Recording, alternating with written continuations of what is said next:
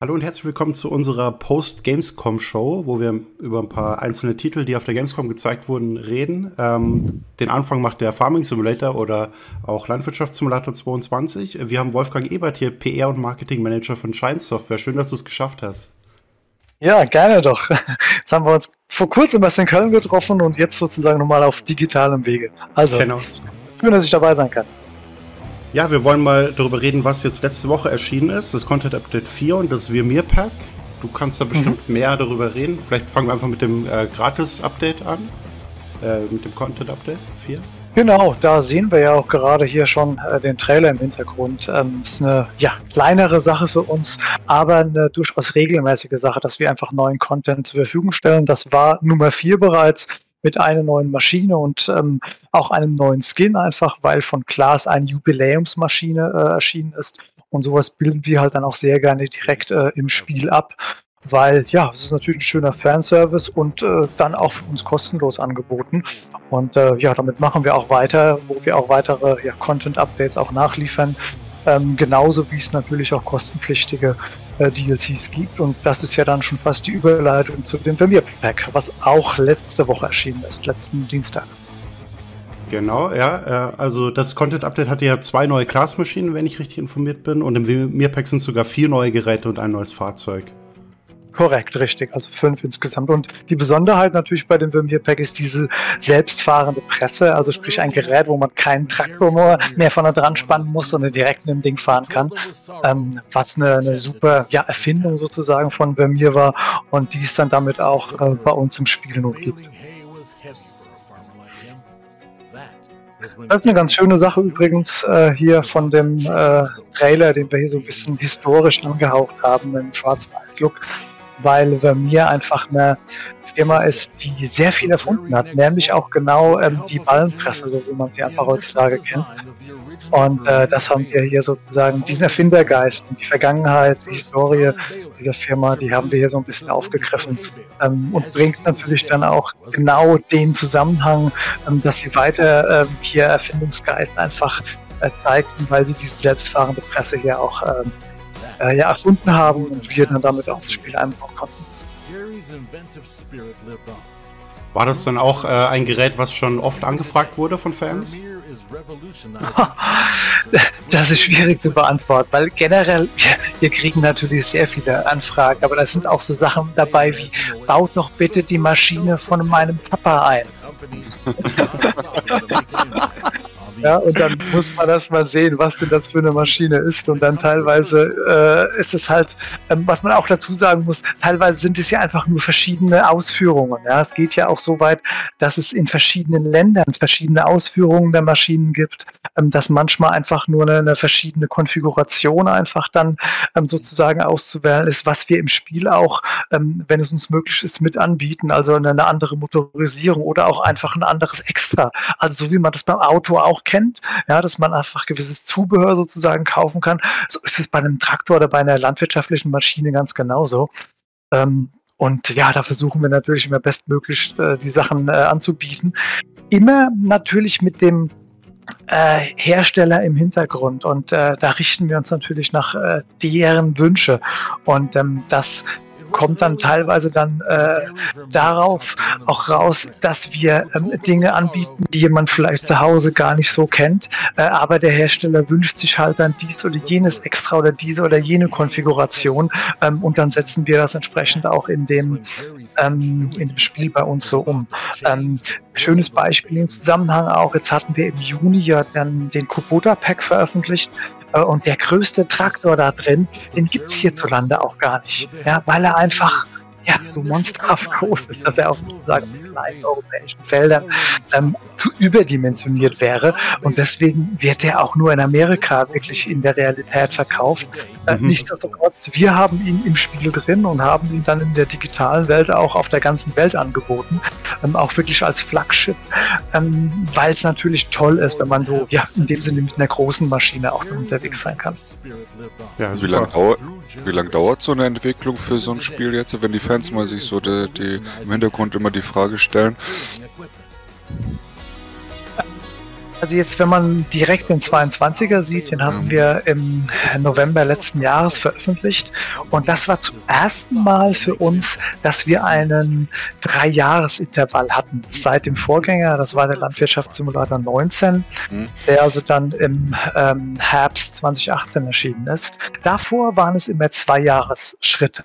Ähm, das hat sich einfach so ergeben äh, von einmal äh, unserer Seite aus. Wir sind ja jetzt seit kurzem auch selbst Publisher mhm. und haben also von diesem Punkt aus auch mehr ja, Zeit benötigt, um die ganzen Strukturen aufzubauen, um das Ganze also so vorbereiten zu können, um nicht nur als Entwickler, sondern auch als Publisher aufzutreten.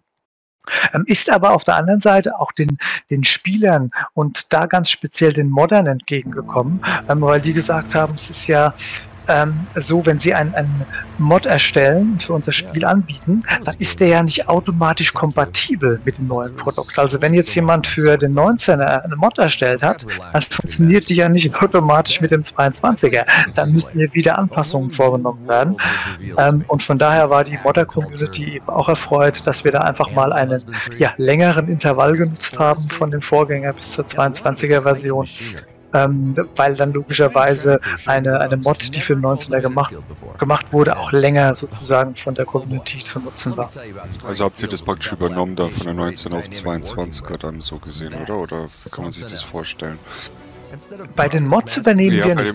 Das, das, achso, muss, achso, dann okay. schon, das, muss, das muss dann schon der Modder wiederum anpassen. So. Es ist einfach nur ein, ein ich sag mal, äh, ein, ein positiver Aspekt, warum ein Modder durchaus begrüßt, wenn wir ein bisschen länger brauchen. Äh, bis wir ein neues Spiel veröffentlichen. Weil ein neues Spiel heißt halt automatisch, dass ja in, in allen Bereichen, also wir, wir haben dann automatisch ja, äh, weil wir nutzen unsere eigene Engine, also wir haben dann eine verbesserte Version der Engine. Ähm, wir, wir arbeiten natürlich da auch mit neuen Game-Features ähm, und da ist dann so viel Neues drin, dass die Leute automatisch äh, ihre Mods eben äh, anpassen müssen, um sie wieder kompatibel zu machen. Nichtsdestotrotz ähm, ist es so bei uns, dass wir eigentlich nicht stehen bleiben, ähm, sondern wir entwickeln das Spiel auch über DLCs weiter. Also wenn wir jetzt ähm, einfach ein, ein, ich sag mal, äh, Feature jetzt über das äh, Jahr mit einem neuen DLC einführen, dann kann man davon ausgehen, dass das sozusagen erhalten bleibt und dann auch im, im neuen Spiel dann wiederum ähm, eingesetzt wird. Äh, ein, ein Beispiel, was wir jetzt wiederum im Juni mit dem Kubota Pack veröffentlicht haben, eine, eine Multiplayer Beifahrermöglichkeit, dass man also Platz nehmen kann, wenn man im Multiplayer spielt, dass man dann zusammen auf einer Maschine Platz nehmen kann. Ähm, oder auch, wenn wir jetzt über die ähm, nächste anstehende Veröffentlichung schon mal sprechen, äh, die Platinum-Edition erscheint dann Ende des Jahres im November. Auch da werden wir zum Beispiel für die saisonalen Veränderungen grafische Effekte, ähm, ja, ich sag mal, intensivieren. Ja, wir, wir hatten ja die Jahreszeiten, ist auch schon im 22er enthalten, aber jetzt mit der Platinum Expansion im November führen wir zum Beispiel beim Gras mehr Verfärbungen ein, sodass also der Übergang jetzt von, von Sommer auf Herbst einfach visuell äh, nochmal schöner dargestellt und mit mehr Varianten einfach dargestellt wird. Ähm, oder auch Laub, ja, wenn also die Blätter da einfach fallen und irgendwo liegen bleiben, auch so eine Sache. Ähm, eine reine grafische Sache, aber eine ja, schöne Sache, wie das Ganze einfach ja noch lebendiger wirkt. Und solche Dinge, die wir sozusagen mal mit einem TLC auch einführen, da ja, kann man fest davon ausgehen, dass die dann auch in der zukünftigen Spieleentwicklung ähm, auch wieder dabei sind. Äh, und äh, von, von dieser Seite aus, wie ich sagte, entwickeln wir eigentlich ständig unser Spiel weiter. Finde ich schon interessant an. Also für viele Spieler ist das ein interessantes Thema auch. Und ähm, wie viele Spieler habt ihr jetzt gerade auf der Liste? Wie viele spielen das gerade so, äh, der, die 22er Müssen wir jetzt das Zählen anfangen. Ja, also, also wir, wir, wir, wir, haben ja auch äh, Cosplay mit dabei. Ja? Also die mhm. Spieler können ja wirklich PlayStation, Xbox, äh, mhm. PC zusammenspielen. Ähm, was ich äh, sagen kann, wir hatten ähm, Anfang des Jahres äh, unsere Erfolgsmeldungen von den Verkäufen her verkündet. Das waren über drei Millionen Stück, die wow. wir für den 22er nach neun Wochen verkünden konnten. Okay, und äh, ja, da, das war ja damals die Zeit, als wir auch dann äh, in den Schlagzeilen waren mit äh, der Landwirtschaftssimulator oder International Farming Simulator hat mehr Spiele als Battlefield. Das war schon ein, ein Riesenhype, den wir damals hatten. Ja. ja. das stimmt allerdings, hört sich sehr, sehr gut an, vor allen Dingen. Ja, manche wollen halt viel bewegen und machen. Das ist halt so dieses Alltag, was halt die Leute gerne wollen. Und das ist natürlich bei Simulatoren natürlich in der heutigen Welt natürlich eine ganz spezielle Sache. Und äh, Ego-Shooter, was auch immer, das sind natürlich ganz andere Wege und klar können Kinder keine Ego-Shooter spielen im Endeffekt, aber ja.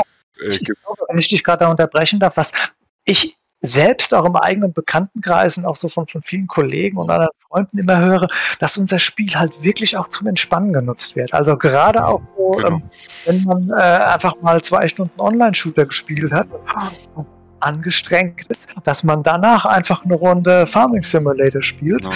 immer noch mit seiner ähm, Freundesgruppe zusammen unterwegs ist, aber halt einfach ganz entspannt mal vorgehen kann, ohne genau. Druck, ohne Zeitdruck, ohne Stress, sondern hey, wir, wir spielen weiter zusammen, wir unterhalten uns weiter, aber es ist halt einfach das, das pure Entspannen, das pure Relaxen. Genau, das ist ja, das ist ja so dieses äh, simulationsmäßig auch äh, für andere Simulatoren, wie auch immer. Es ist alles so zum Entspannen, ja, dafür ist ja mhm. das auch da. Also ich sehe es auch so, man sieht es auch, das äh, Landschafts Landwirtschaftssimulator sieht sehr entspannt aus und man könnte da richtig so auch alleine auch spielen. Äh, das ist ja. mehr so. Und aber zu zweit glaube ich, ähm, der eine macht was anderes, also er muss ja konzentrierter sein. Da denke ich mal, dass viele, also gehe ich mal nur davon aus, dass viele auch alleine spielen, äh, eher wie zu zweit, weil der eine hat viel zu tun, der hat das zu tun, da will er wahrscheinlich den anderen dann auch nicht so eingreifen, was er, was machst du gerade, kennt man ja so die typischen Wörter. Und äh, dann, dann ist natürlich äh, klar, will man das in Ruhe spielen, zum Relaxen einfach. Ja, ja aber das ist ja genau der Punkt. Also mhm. beim Landwirtschaftssimulator kann man problemlos dann auch zusammenspielen, weil es gibt ja nicht diesen Stress, dass man, oh, ich muss das jetzt fertig machen. Nee, ganz entspannt, dann mache ich es halt später fertig. Ja, oder wir machen es zusammen, wir helfen uns gegenseitig. Ja, genau, Erfahrung austauschen im Endeffekt ja. auch und so weiter. Ja. Auch das, ja, auch mhm. das. Mhm. Das stimmt, ja. Also es macht schon sehr, sehr beeindruckend, das Spiel. Das die, die, Aktionsmöglichkeiten sind halt auch total vielfältig. Also das, ähm, wie der Name sagt, Landwirtschaft steht an erster Stelle. Ähm, aber da muss man ja auch schon mal unterscheiden, ähm, einfach da äh, das Thema Tierhaltung. Ja, und dann, ob ich jetzt meinetwegen eine, eine Pferdezucht mache oder ob ich der neue Schafzüchter sein möchte oder ob einfach jetzt äh, ich der Imker sein möchte, das sind ja schon mal dann ganz verschiedene Bereiche. Und äh, das kann ich natürlich dann wiederum kombinieren äh, mit irgendwas in der Landwirtschaft. Aber da auch, ob ich jetzt Mais anbaue oder Baumwolle äh, oder Trauben, das sind ja komplett verschiedene Vorgehensweisen mhm. und, und verschiedene Dinge, die ich dabei ähm, machen muss. Oder wenn ich das dann eben anfange zu kombinieren und sage, okay, ich brauche jetzt auch noch meine Grasweiden, weil ich ja auch mhm. ähm, Tierfutter haben will. Mhm. Ähm, und so kann ich also sehr, sehr vielfältig unterwegs sein. Ähm, plus, was man nicht vergessen darf, ist auch noch die Forstwirtschaft mhm. die im Basisspiel auch enthalten ist die wir jetzt ganz speziell in der Erweiterung dann Ende des Jahres, im November, in der Platinum Expansion aufgreifen.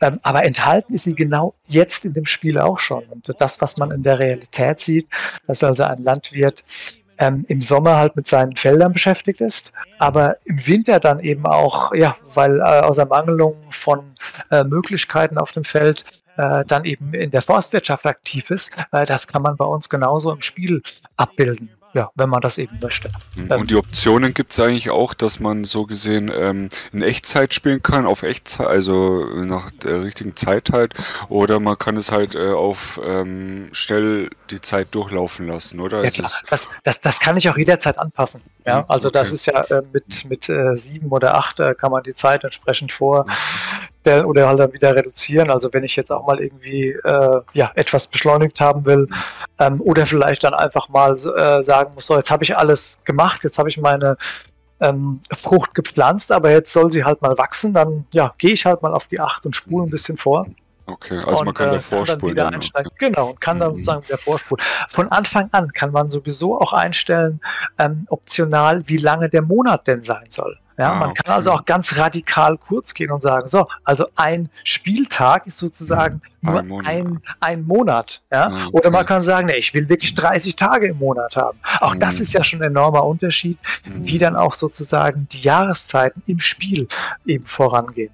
Ähm, das, das, ist für uns ein ganz wichtiges Feature, dass wir sagen, wir, wir wollen die Dinge halt wirklich optional behalten. Also wenn jetzt jemand, ich sag mal, sich eingeschränkt fühlt durch Jahreszeiten, ähm, wenn man halt nun mal im Dezember XY nicht anpflanzen kann, mhm. ähm, dann kann man das auch alles ausschalten.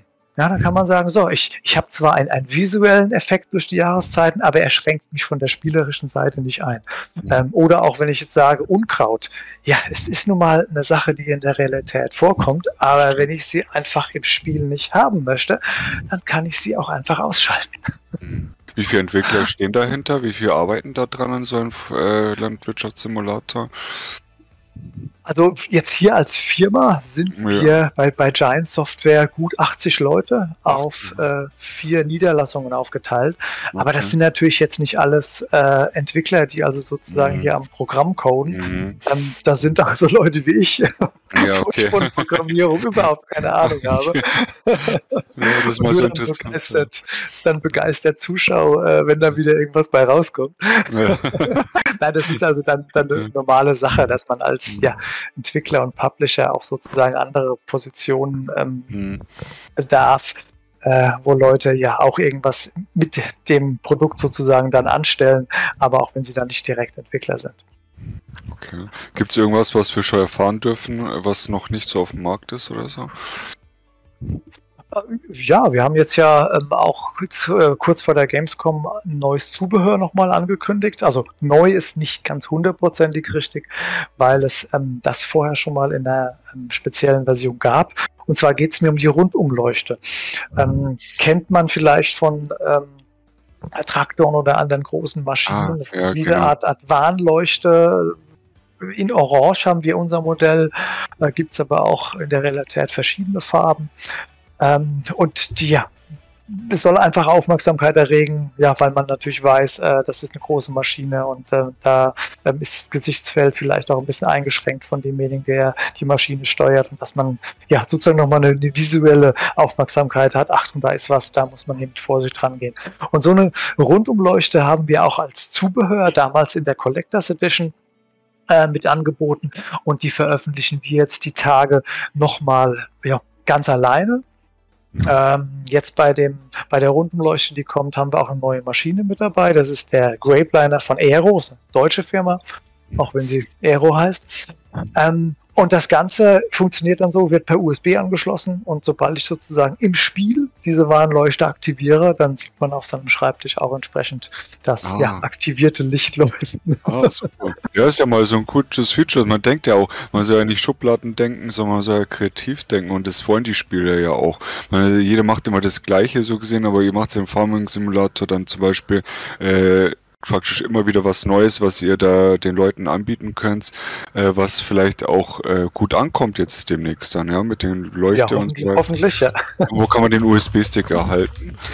Ähm, also die, die Leuchte. Äh, es ist, wie gesagt, ich habe jetzt da in der Zukunft ja. gesprochen, das kommt jetzt erst die Tage. So, okay. ähm, wir haben also da einen sogenannten äh, Soft Launch. Ähm, das heißt, es theoretisch kann es passieren, dass das Ding jetzt in, keine Ahnung, Frankreich, Polen, also irgendwo im umliegenden Land schon die nächste Woche erhältlich ist. Äh, in Deutschland weiß ich aber jetzt, ähm, dass es noch ein paar Tage länger dauern wird, weil da einfach die Verkaufsgespräche äh, noch laufen mit dem äh, Zwischenhändler, weil wir selbst sozusagen ja ähm, Entwickler und Publisher sind, aber die mhm. Verkaufsgespräche mit dem ähm, Einzelhandel, ähm, da haben wir wiederum andere äh, Zwischenhändler, die da für uns tätig sind.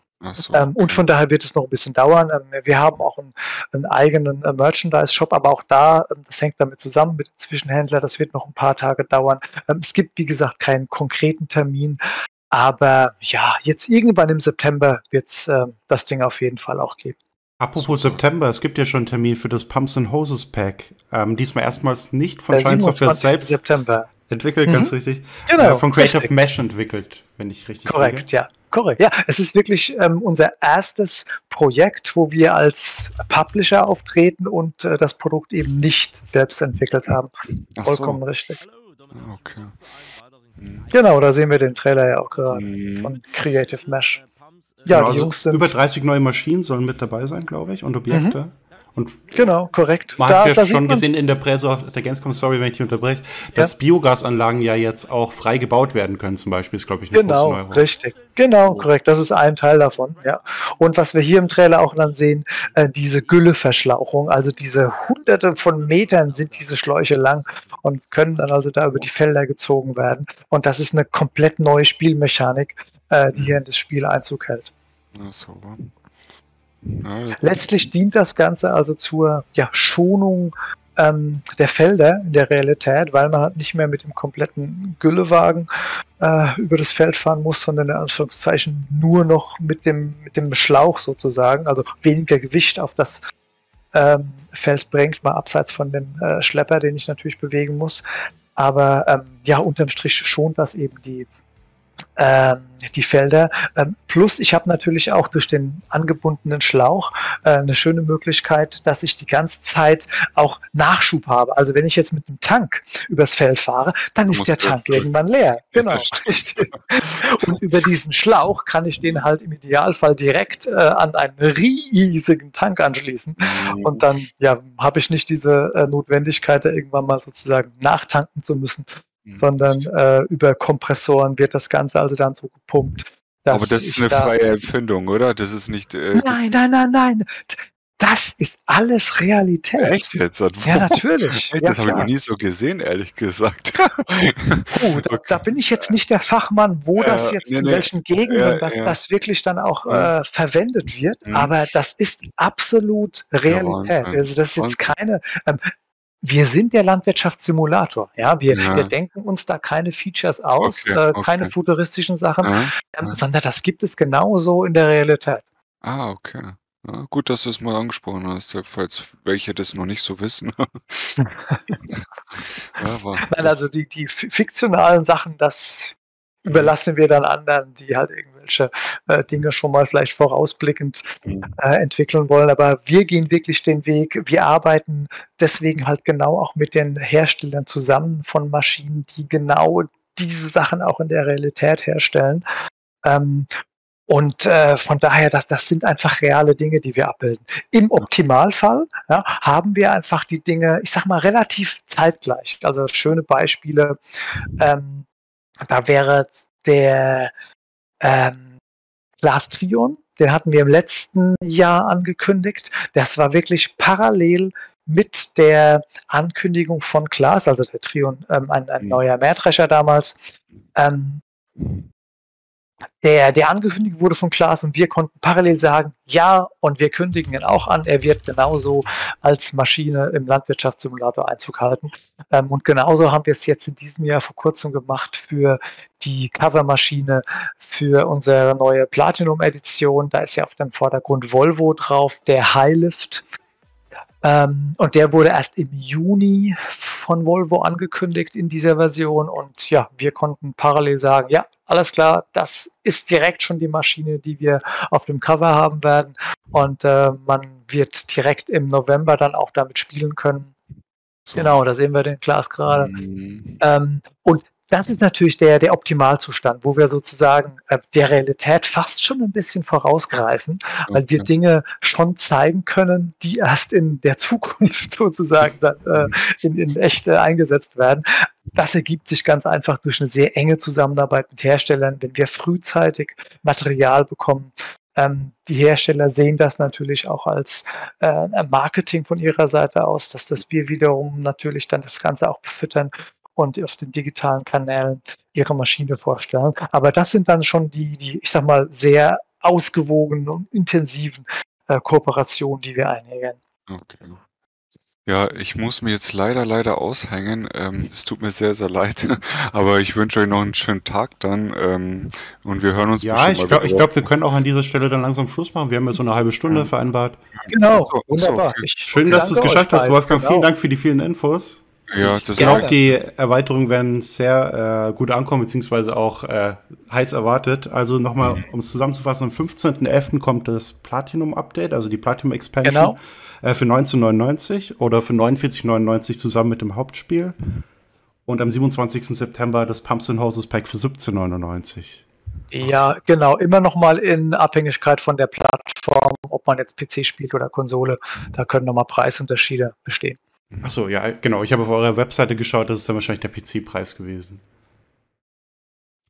Ja, äh, über unsere Webseite kannst du auch äh, zu Konsolen genau, natürlich Shop, kommen. Ja, ja, genau, genau. Das, das, mhm. das, das, sieht man dann ja jeweils. Ja, klar, der PlayStation-User wird keine PC-Version kaufen und umgedreht, aber klar. Aber in der Platinum Edition äh, ist wirklich nur das Hauptspiel und die Platinum Expansion und natürlich die Gratis-Updates mit dabei. Aber jetzt nicht die Inhalte des äh, Year One Season Passes, den müsste man dann noch extra kaufen. Korrekt, richtig. Wobei dann müsste man es rechnen anfangen, ob es dann nicht sinnvoller wäre, die Sachen einzeln zu kaufen, weil ja Platinum Update auch schon im Season Pass, ähm, im enthalten, Season Pass ist. enthalten ist. Aber das ja, kann man sich dann selber nochmal ausrechnen, inwiefern das Sinn macht, inwiefern das einen interessiert. Wenn jemand alles haben will, klar, dann ist der ähm, Season Pass die beste Wahl. Ähm, dann könnte man sozusagen ja sagen, man kauft auch das Basisspiel und den Year One Season Pass. Dann hat man auf jeden Fall auch alles. Aber es gibt jetzt keine Ultimate Edition oder ist nichts dergleichen geplant, wo alles wirklich mit abgedeckt ist? Ja, was soll ich sagen? Da gibt es natürlich, wenn ich in die Vergangenheit schaue, ähm, da hatten wir dann schon immer wieder mal eine Premium-Edition, genau. die dann alles beinhaltet. Aber die kam dann erst zu ungefähr zwei Jahren nach der ersten Veröffentlichung. Und noch eine Frage, Wolfgang. Ist das Spiel 8K optimiert? Oh, jetzt erwischst du mich gerade aber auf dem falschen Fuß oder äh, auf dem falschen Sessel hier. Ich spiele auf nee, das, das, das, das, weiß ich wirklich nicht aus dem Kopf. Da, da müsste ich unsere Kollegen fragen. Okay. Okay. Nee, aber äh, schön, dass du da mal da warst wieder, Wolfgang. Ich ja? hänge da mal aus und äh, wünsche euch dann soweit alles Gute, bleibt gesund und gleichfalls. Wünsche ich euch auch, ja. Ja, dann bis zum nächsten Mal bis wieder. Bis zum nächsten Mal. Genau, gerne, gerne bis zum nächsten Mal und ja, würde mich freuen, wenn wir uns dann auch wieder persönlich sehen. Jetzt, gerne. wie gesagt, gerade bei der Gamescom, aber ja. der, die nächste Veranstaltung kommt bestimmt. Genau, super, genau. danke schön. Alles klar. Macht's gut, gerne. Dann. Ciao. Ciao.